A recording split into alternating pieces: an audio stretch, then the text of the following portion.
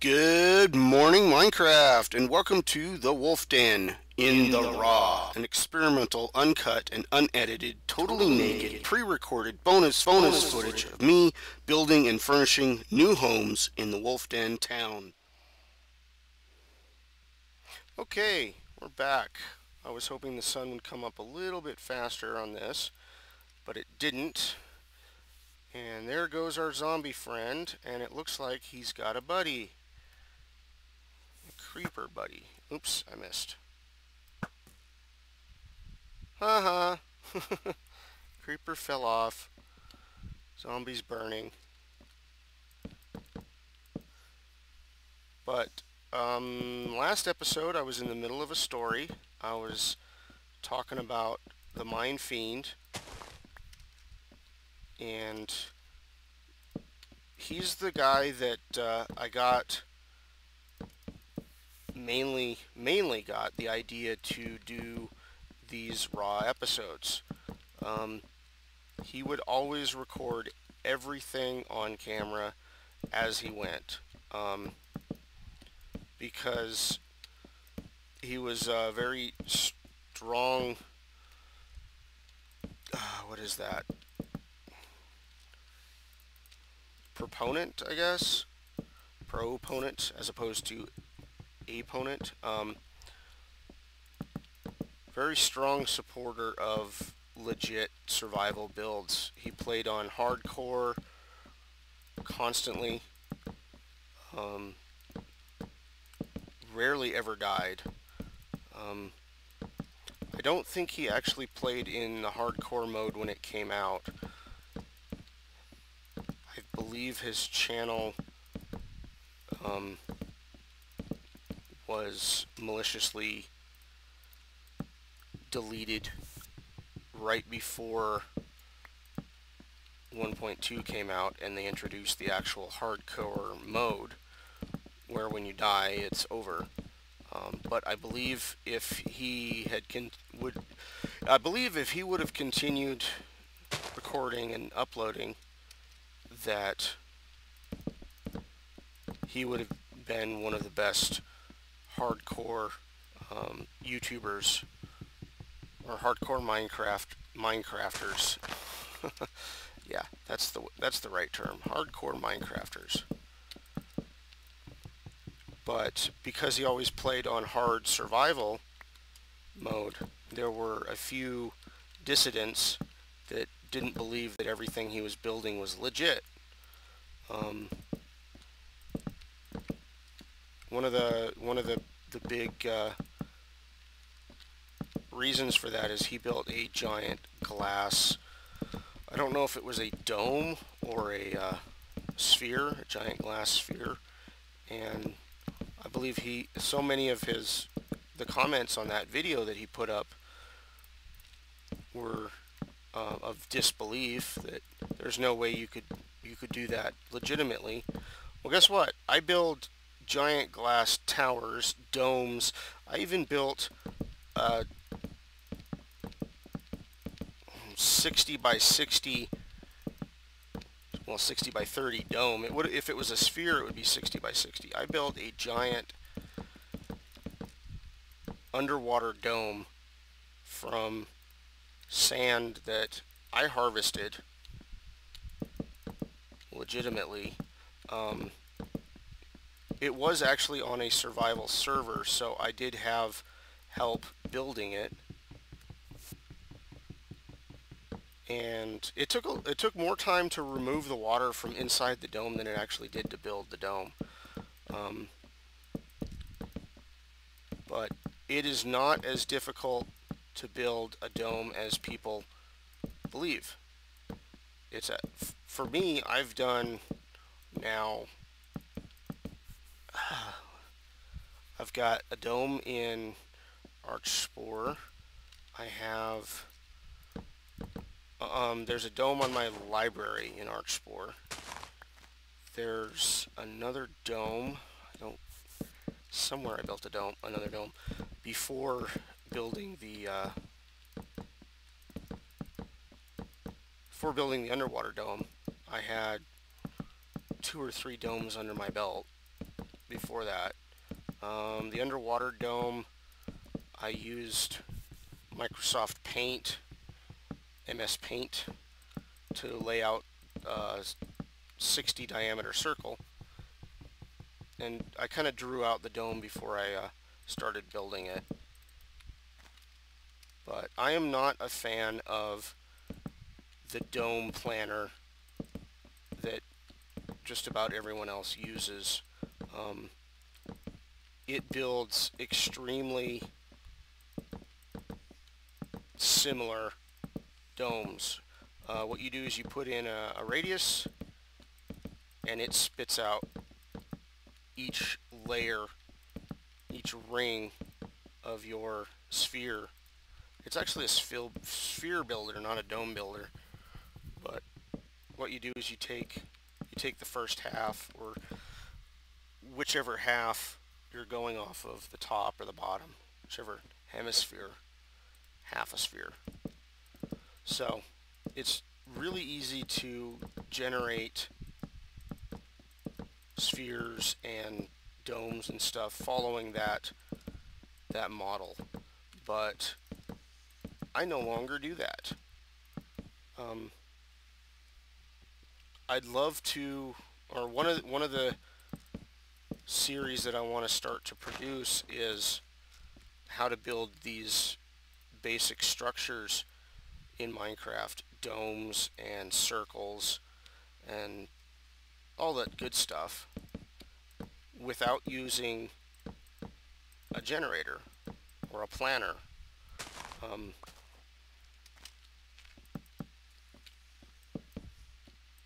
so, I mean, I no longer use a circle planner to, to lay out the, the design. The library, I did that. I There's a, a base circle inside of the library that I just laid out.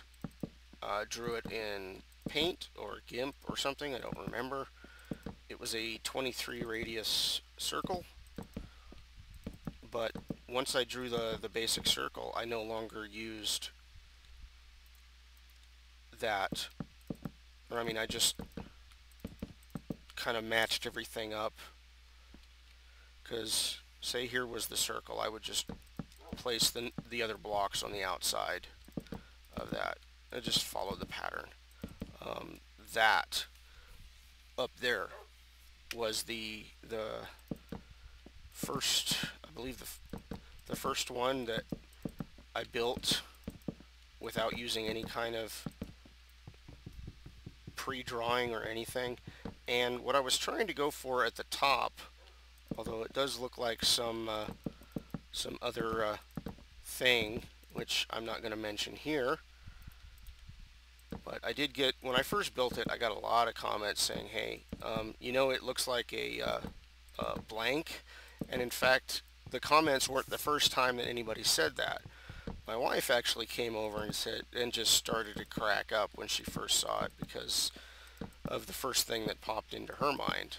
But what I had actually intended was there to be a uh, bulb on top, uh, similar to buildings like the Taj Mahal and whatever that the main palace is in um, Moscow. It's got several towers and each tower has this bulb roof on it with a variety of different uh, colors. It's a very, very colorful building. So that's what I wanted to do, was trying to make a, uh, a glass tower that had a bulb at the top, similar to, say, the Taj Mahal or something. But it turned out looking a little different. Um, because it's all glass, I don't want to go back and tear it apart. But what I was trying to say in this episode is that I did not, repeat, did not draw any of it prior. It was all done from scratch in Minecraft, similar to the circle that I laid out here. Um, just eyeing it and going off of guesswork. And I'd love to make a series of videos explaining how I do that. Um, not just with circles and arches, but with everything else that I build. Uh, bridges, towers, all that stuff. Show once this series is done, I'm probably going to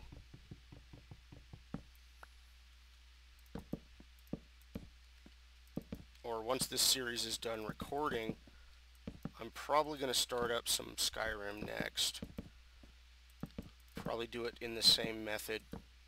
I now have several hard drives to choose from, um, and it looks like the hard drive I'm using to create these particular episodes is going to be full in by the end of this episode. So I'm going to have to start and find another place to store it. And hopefully I can finish this floor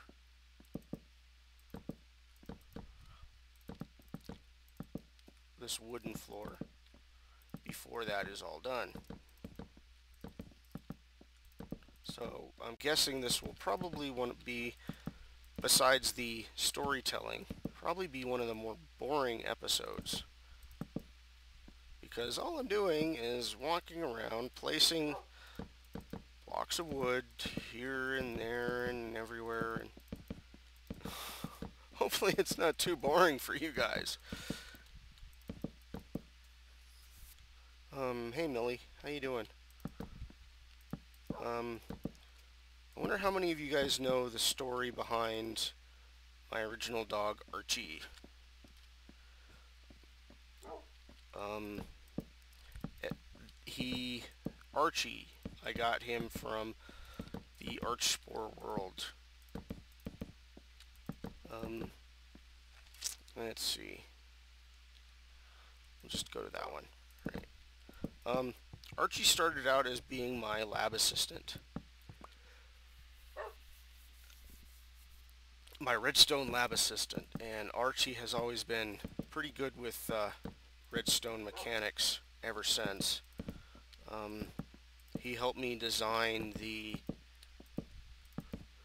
the lighthouse with the minecart clock in it. Did I hear another zombie? Is he up on top? Yeah, that's a skeleton. Nice. He fell down. Okay.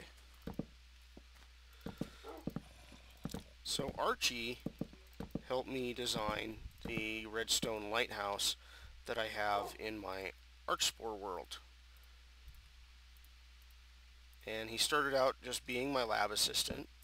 Um, he also helped me explore the Archspore map looking for my first snow biome because I wanted some pine trees. You know, I also wanted some snow too. Um, had plans to build a kitchen and a refrigerator so I figured snow would be a great way to build a refrigerator. So I needed,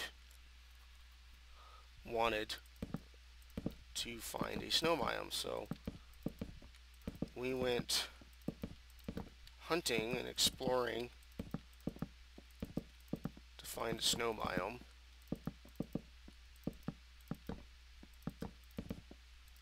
Found a lot of cool resources along the way. Um, something I hadn't found before, even though I had been caving quite a bit. Uh, I never found any red mushrooms. So if you watch my Winter Wonderland episodes, you'll notice that I get extremely surprised over the finding of red mushrooms because I never I had never found any before that. I always had brown mushrooms. Um, found some nice pumpkin patches and I believe at my 150 subscriber special, I, or no, prior to that, I believe during the Winter Wonderland episodes, I asked for some support from my, my subscribers and viewers, uh, basically anyone who comments, for help naming the dog. So, in the 150 subscriber special, a long time ago, I finally chose the name from the list that everybody gave me. Uh, I chose the name Archie. Uh, since the name of the, the world, the world seed was Archspore, it seemed to fit. So that's why I have a dog named Archie. Um, the new dog, who seems to have disappeared, oh there she is. The new dog I named right after building my super large automated reed farm. And somebody suggested that a good name for her was the Miller's dog. And I shortened it to Millie. So this is this is Millie with the blue eyes. Hi Millie.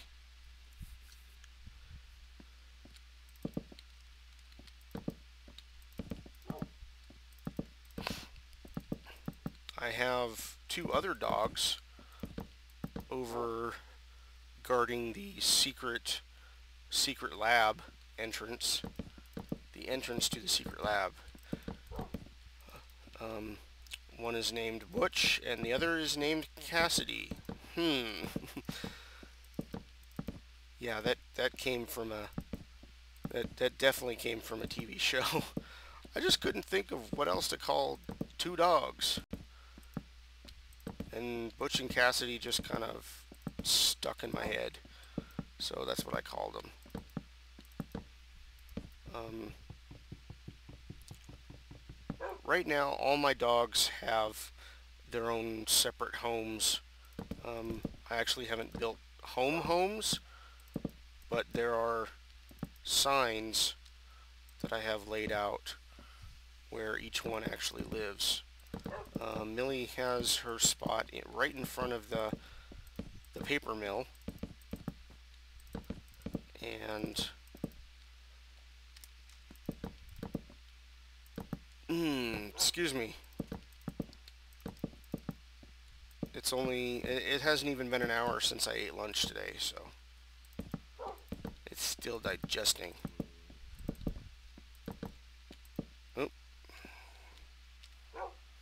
Since it's snowing, I have no idea what time it is. But I will run over and try to grab some some more wood and then run back and hopefully I can get this floor done before the end of the episode. Wait a minute. That's Millie. Who is this? Or if that's Millie, who is this? Oh no. Oh no, what happened? I have another dog.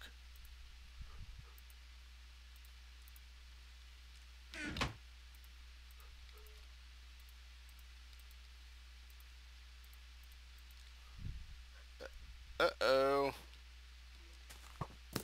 Eh. Hit me. Come on. Hit me. I dare you. Get him!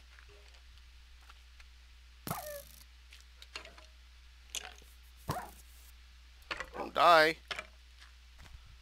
Good dogs. Okay. Oh, there's the sun coming up. So I didn't realize I had a fifth dog.